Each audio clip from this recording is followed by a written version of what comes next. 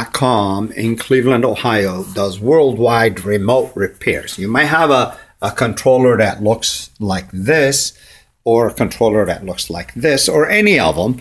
And for most cases, we can communicate with it and upgrade it so it uses nothing but uh, messages that are on USB uh, dongles all programmed directly into your sign and its receiver.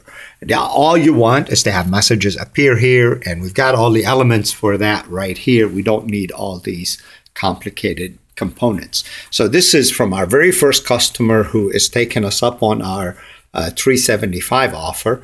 And what it is, he sends this item to us with $375. We do our best to eliminate it within the sign. And if we succeed, we get another 375 and that includes all the parts that are required for the upgrade.